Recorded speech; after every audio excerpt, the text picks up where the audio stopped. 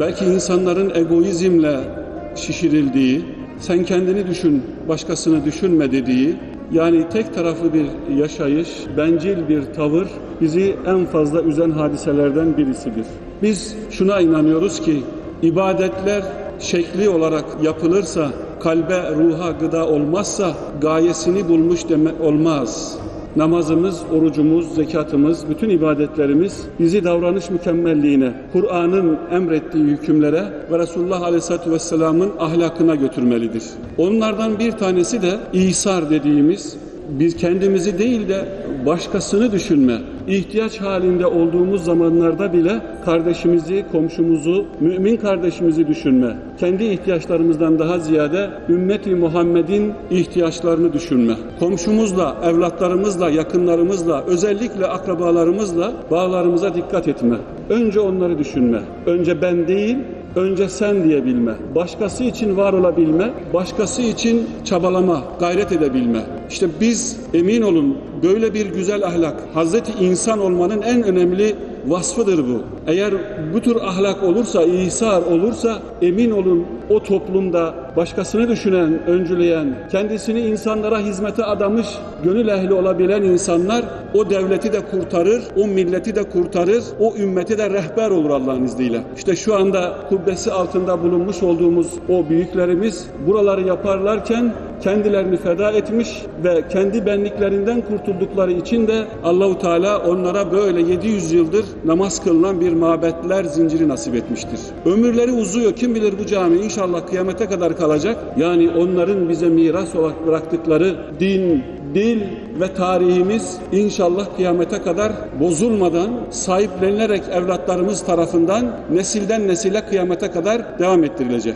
Biraz önce okumuş olduğum ayet-i kerime Haşr suresindendi. Peygamberimiz sallallahu aleyhi ve sellem'den en fazla istifade eden Efendimizin birinci talebeleri kimlerdi onlar? Ashab-ı kiram efendilerimizin o güzel vasıflarıyla bize Allahu Teala mesajlar veriyor. Estağfurullah.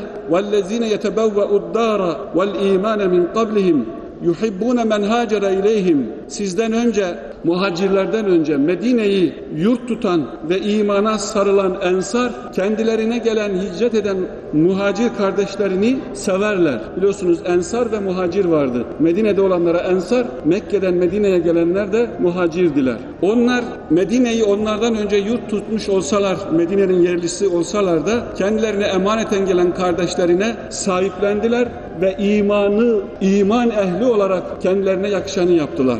İman ehlinde böyle bir vasıf var. O bize de nasip olsun inşallah. Nedir o? وَلَا يَجِدُونَ مِنْ صُدُورِهِمْ حَاجَةً مِمَّا utu. Onlara verdikleri bir şeylerden dolayı da yüksünmezler. Gelip malımızı aldınız demezler. Medine'de bizim ekmeğimize, lokmamıza ortak oldunuz demezler. وَيُؤْسِرُونَ عَلَى أَنْفُسِهِمْ وَلَوْ كَانَ بِهِمْ خَسَاسَ Kendileri ihtiyaç sahibi olsalar da önce kardeşlerini düşünürler. Burası İsar. Müminde olması gereken bir vasıf. Önce kardeşim doysun, önce komşum doysun, önce hele hele Allah'ın bize emaneti olan yetimler doysun, kimsesizler doysun. Aramızda yetimler varsa, yine geçim sıkıntısı çekip de açlıktan sıkıntı çeken, derdini anlatamayan insanlar varsa o toplum tamamen vebal altındadır. Birileri çok fazla kazanıp biriktirirken öbür taraftan işte ihtiyaç sahibi olup da boynu bükük olanların var olması orada Allah'ın rahmetinin, adaletinin veya muradının ve hükümlerinin olmadığını gösterir. Demek ki bizde bu olacak Allah'ın izniyle. Şimdi günümüzde kardeş kardeşle kavga ediyor. Hele miras bölümlerinde bir bakıyorsunuz bir karış toprak için küsler. Bayramlarda dikkat edin herkes küs. Kendi nefsim için de söylüyorum. İşte zor bir teklifte bulunuyor Kur'an bize. İman ehliyseniz diyor.